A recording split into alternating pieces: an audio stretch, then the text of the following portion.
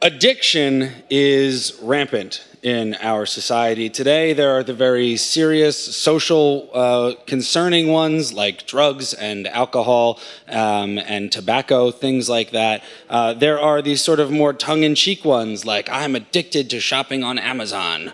Uh, there are the ones that some people consider fake and some people consider real, like a porn addiction or a sex addiction, which are mostly used so that conservative politicians can get away with shit.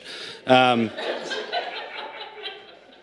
there's all these sorts of addictions. Now, I have drinks sometimes, and I like to smoke a cigarette sometimes, and I have put some drugs in my nose and mouth and face. Um, sometimes, allegedly.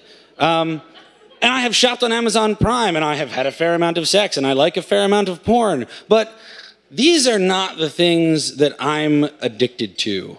Uh, I'm addicted to a very particular thing. It is the most euphoric, most amazing thing on the planet. And in fact, it's a sound. I am addicted to a sound. And that sound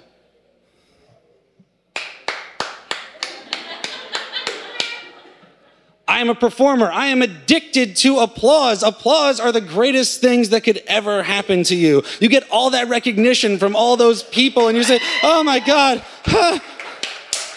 anyway.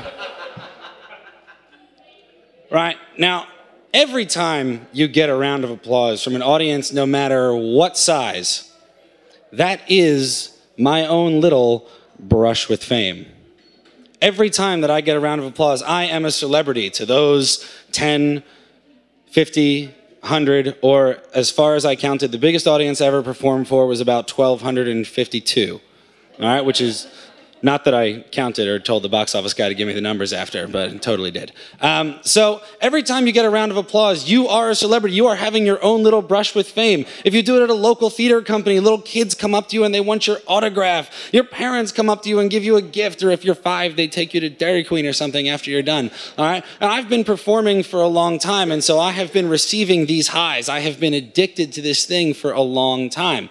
Um, I started in school choirs. Um, and then I moved on to school plays. I came to college here in York, Pennsylvania, and I was part of the very first class to graduate from York College of Pennsylvania with a theater degree, which was really cool. All right, I, in college, I did 23 plays in college, and every time we'd do a five or six show run, and there'd be a couple hundred people every couple months that would see you and cheer for me, and I am shooting up every couple of weeks on these applause, and I'm loving it, and I take this high and I run with it, and I moved to Philadelphia afterward. I moved to Philadelphia and I get into the local theater scene. I start acting professionally. I am in an I am still technically in the swing cast for an off-Broadway play, which I have technically still been in the cast for for eight years. All right, and sometimes they call me and I have to go to Cleveland and I have to do a show, or I have to go to Philadelphia and I have to do a show, or I have to go to New York and I have to do a show. After nine months in Philadelphia working professionally, I moved to New York. I get picked up by an off Broadway production company that wants to move me to New York going to pay for my first couple months to live there so that eight shows a week, I can get fed my addiction. Eight shows a week, I can stand there. And after every show, there might be an interview. There's going to be a press junket. I get to do interviews on the radio. Now, the show that I was doing was uh, very gay. Um, there was a I was the straight man in a show full of drag queens, most of whom I had to make out with. And so most of our audience were very exuberant gay men who loved to take me out places, who loved to get autographs, who loves to have a great time. So every night I got treated to this New York life of being a goddamn celebrity. It's amazing.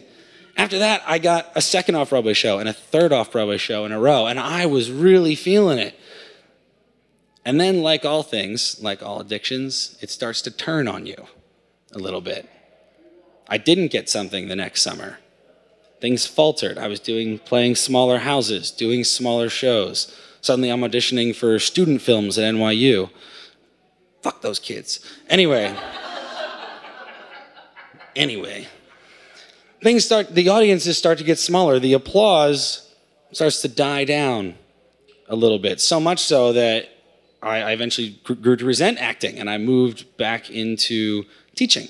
I missed kids. I missed working um, in museums. I, I, missed working with kids. And so I started to receive the smaller uh, gratitudes. You know, not necessarily an applause, but just a smile from a kid was enough for me. Just a smile from a kid or a handshake of a parent. And eventually, I found my way back here to York. I'm teaching, and then this happens. Someone says, Bryan, come out and do this story slam thing. You tell funny stories, you do this, oh, it'll be so much fun, you'll love it. And now, once a month, I get to come here and you people feed my addiction. So today, I would, I'm going to ask for a favor. I'm going to ask, as I, I'm going, I'm going to say thank you, I'm going to wave goodbye.